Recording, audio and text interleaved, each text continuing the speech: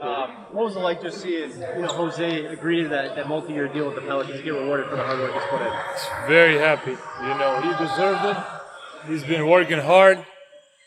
Maybe at times he acting like a vet, but you know, but he deserved it, and he was hardworking. Huge part of our team, what we do, and uh, you know, I'm just happy for him, for his family. You know, that's that's minimum what you can what are you can accomplish.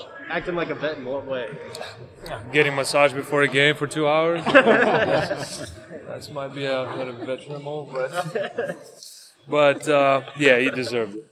How much of the fact that he got to this point from being a two-way contract and being un- undrafted has been based on just how much how hard he worked and that kind of thing? Well, you know, he always had that. You know, since the day one, since the training camp started.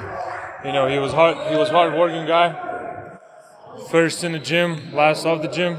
You know, so big things happens when you do that. Jonas, have you ever seen anybody like him come in the league where they had to prove himself at every step?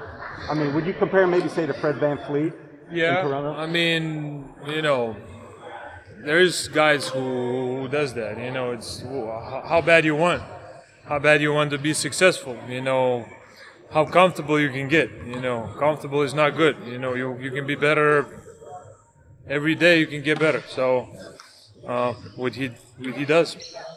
What do you just think about the, the mental toughness for you guys as a team to, you know, LeBron comes out, plays really hard, really good first half, to just, you know, take that on the chin and, and come back to the?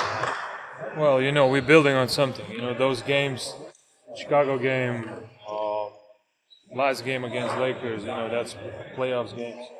And uh, we're building on that, building our chemistry, building, you know, our our attitude too. You know, we're we want to we want to win. We want to be tough. We want to be, you know, hard playing team. So I think that's what we're showing. Jonas, having been on a variety of teams, how important is it not just to have playoff games under your belt, but to play meaningful games to make the playoffs? Because a lot of these guys haven't been in those shoes. Yeah, you know that's a great test before the playoffs. You know, my, uh, yes, we have a big, uh, long road ahead of us to, to make a playoffs, but that's our goal. And you know, we'll we'll do everything to be there. What what, what we need to do.